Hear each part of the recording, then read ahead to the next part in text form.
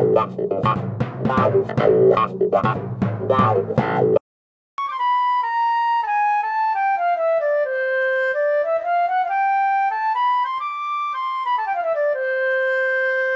from a musical family.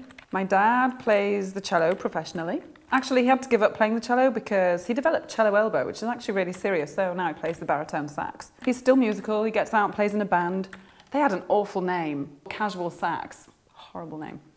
I immediately told my dad, forget it, forget it, I'm not coming to see you play if that's what you're called. My mum was good at the piano. My brother who is kind of a music producer, plays pretty much everything. He can pick up a matchstick and play it. I kind of picked up the guitar,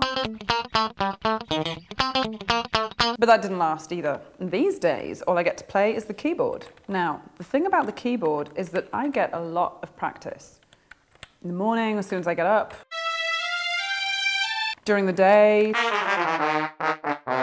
I'm self-taught, no formal training. I hit the wrong key sometimes, and sometimes I'm totally out of key, but um, you know, if, if you can be out of key, but delete comes in handy. I, I have a paper cut because I like to keep my hands nimble, so I do origami on the side, and inevitably it's an occupational hazard. Like I was saying all day long,